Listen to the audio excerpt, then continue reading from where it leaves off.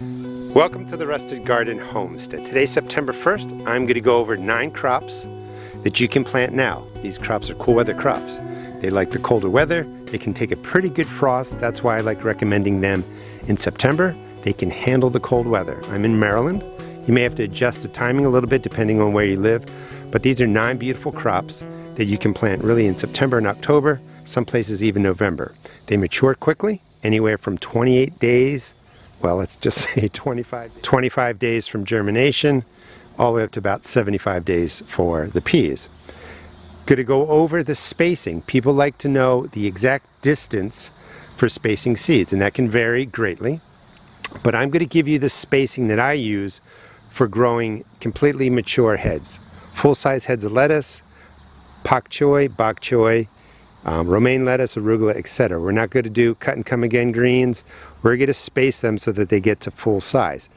This bed was planted about five days ago, and you can see that if you have a good eye, that's a radish coming up. Radish is coming up there.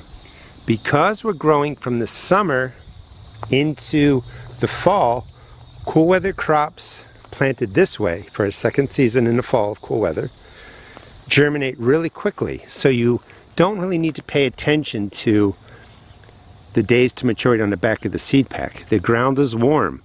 They germinate quickly, they grow quickly. September 1st is beautiful for Maryland for that cold weather coming. What these cool weather crops like, I want to go over those details because that's how you can figure out when to plant. They like 45 degree nights, 50 degree nights, lower 60 degree nights, 50 degrees soil temperature. They like days that are in the 60s or 70s. That's what I'm looking for now in Maryland. The heat is starting to break. The cold weather is rolling in. I'm going to give you the spacing in inches and centimeters, and you can see that I wrote it right on there. I also have a blog, The Rusted Garden Journal. Check that out. I'll have all the details there so you don't have to write things down.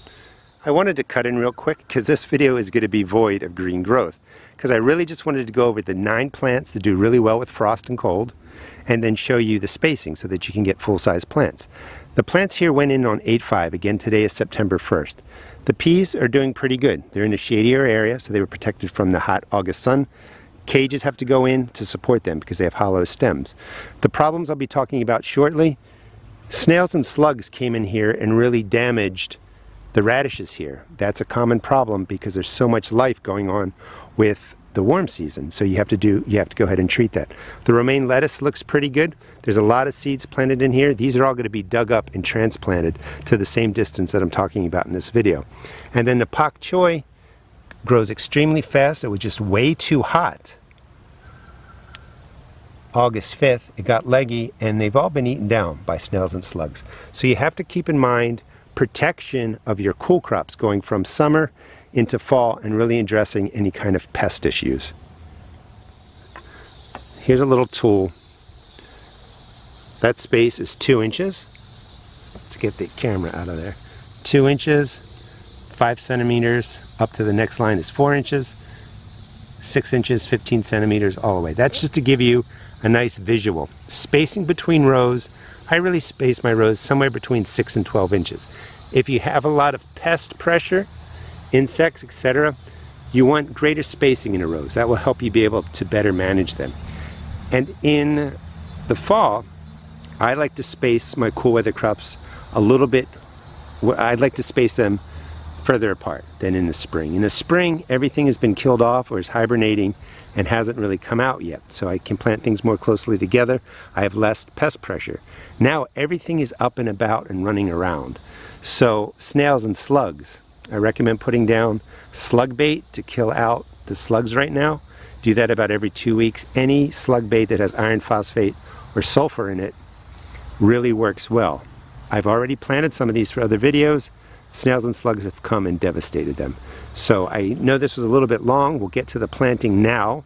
And at the end of the video, I'll show you how to prep the beds. We're just going to really use the soil that's present. If you want to amend it like I show you, that's fine. And we're going to use a water-soluble fertilizer. That water-soluble feed is going to be immediately available to the plants.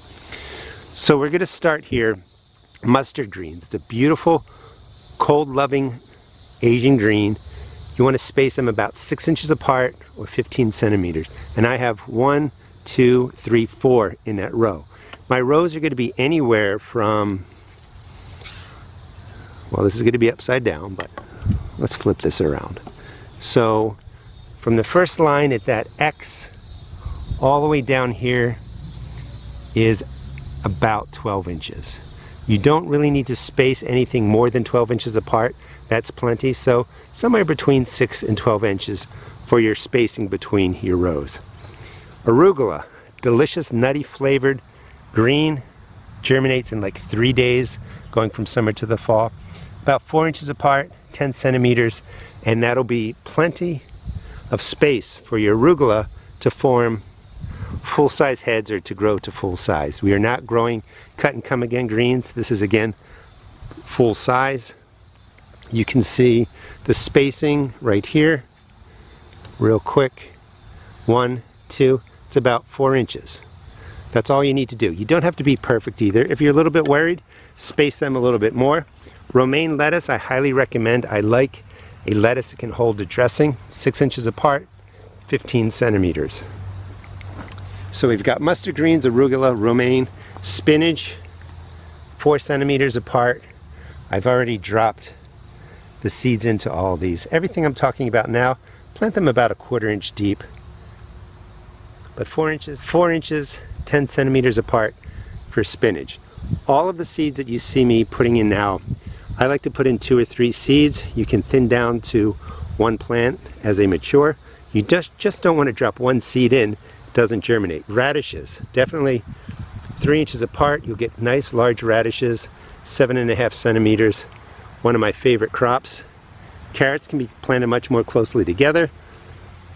Two inches, five centimeters.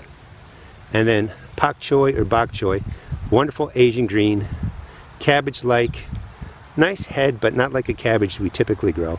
Kind of a looser head. Delicious stalk, delicious leaves. Give them about eight inches for them to get full size.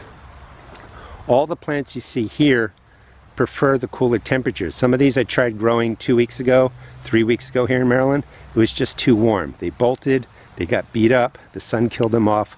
So the timing's really important. You want to get these in the ground when the temperatures start to drop. Again, I'll show you the build, or I'll put the link in the video description, how you build this cage, because we are sitting outside my garden now. That will keep the rabbits out the deer away from my seeds that I'm starting here. All right, we have two more. Now peas take from germination a good 75 days. The frost will actually damage the flowers and pods, but you can eat the tendrils. They're delicious. You can use them in salads.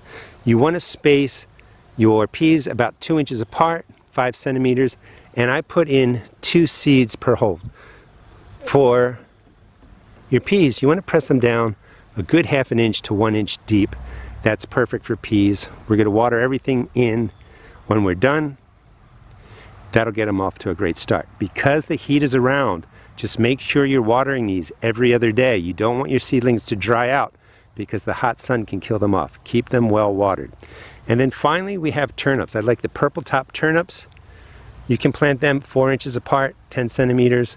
And again, from here to here is eight inches and we got two inches four inches, six inches, eight inches. That's what I like to use for measuring. And if we take a look at the hole right there, the hole right there, that's about four inches apart. A lot of this I just do automatically, but I wanted to just give you some numbers that have been working for me for years for the general spacing. And then in between, so from the peas over here to the turnips, we have to here is about eight inches. So between crops or between rows, a good 6 to 12 inches really lets the air flow in. These are the nine crops that I recommend starting to grow in September, October. They can handle heavier frosts. Most of these plants do really well. It's not until a prolonged freeze comes that it actually freezes the top of the soil, you know, an inch deep, and then right where the roots meet the stalks of the plants, if that stays frozen for a long time, that's usually what kills off your plants. But you'd be surprised at how much abuse these plants can take with freezing. And as soon as, you know, it warms up, they thaw, they continue to grow. They have the ability to take the freeze and the cells of the plants don't rupture and therefore they stay intact and they can continue to grow. All right, so here's the basic setup for the soil if you want to amend it. If you don't want to spend the extra money or you're not making your own compost, you could just loosen the soil to a good, you know, four inches, six inches with your hand, shovel, however you want to do it, and then just plant the seeds. Remember, multiple seeds into a space, thin them down to the single plant that's the strongest. Except with peas, I like growing two plants per hole. They tend to do well that way. Bed prep for the fall should be simple. You've already got a lot of amendments in there from growing, you know, over the summer. So any bag product that's on sale, you know, manure or a compost, it's a combination of my own compost, LeafGro, um, and actually a bag of manure that was on sale that I know the company bagged product wise, I'm okay with it. Put in enough to raise the soil level, maybe by an inch, two inches, and I'm just gonna kind of move this across, mix it in. At this point of the season, you can throw in some organic granular, I'll show you that. Mix it in. It won't do so much for your plants that are going in now for the fall because it has to break down, but it'll be there next spring for your plants. I'll also link the video that shows you how to build this simple frame. These beds are outside my garden. This is gonna keep deer, rabbits, squirrels, birds away for my fall crops that are coming up. And it's a pretty simple design. I'm just going to use bricks to raise it as the plants grow, and this will protect my plants that are growing in the fall. Quickly spread out the amendment that you're putting in. The whole goal is just to put in something nice. It's going to hold moisture, has some nutrients in it. You don't have to spend a lot of money on it. Anything around your property is fine.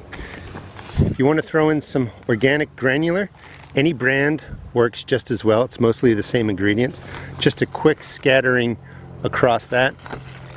The main feed for your fall crops is going to be a water-soluble fertilizer because the water-soluble ingredients is immediately available to your plant which means is when you put in the nitrogen, phosphorus, potassium like in fish emulsion, I recommend AgroThrive, I'm affiliated with them, check out the video description. As soon as you put that in there, the plants can use it as they grow. Just gonna mix this into a depth of, I don't know, two to four inches. Just loosen everything up, mix it together, and that's gonna be the bed that I plant my seeds into. This space is all you really need for a fall garden. If you want to subscribe and follow me, I'll show you how much we get out of this space. In some places, you know, I think I did maybe six or eight bok choy, 25 carrots, 25 radishes, maybe eight spinach plants. You don't have to overdo it. I do recommend maybe planting a little bit less if you're just getting started. This way you're not overwhelmed with all the care. I like to set up my planting really exactly like this. Put in the uh, labels. People always ask. These are shims, which are used for construction for like leveling doors and windows and stuff like that. I get them at Home Depot. But I like to put in the finger holes at the right distance and then just come in and cover up, you know, everything. Watering is going to be really important. Let's just give it, give a, it a spray you know, soak it down for a good 10, 15 seconds. When the seed swells from the water, that's when germination is going to start. And you really do want to keep up on the watering. You may have to water these every day. And something like this, you want that top inch or two to be soaked, and then the water, of course, goes down to the bottom, or goes down to the lower levels of the soil. When your seed germinates, they send down a root, and that root will get to that water. But the top of the soil can really heat up to 90, 100, 110 degrees if you end up with a 95 degree day in September, and that can damage your seedlings. Keep them watered. You could lay some shade cloth over here if you want to, different kind of things. Maryland, September 1st is really the time to get these cool weather crops going. Things should work out nicely over the next week or two. Temperatures are going to be dropping, especially at night. That will cool the soil down. Thanks so much for watching. Please check out my blog, The Rusted Garden Journal, for more information on these nine crops. This way you don't have to write everything down. You can just get the info from there. And please check out my seed shop at therustedgarden.com.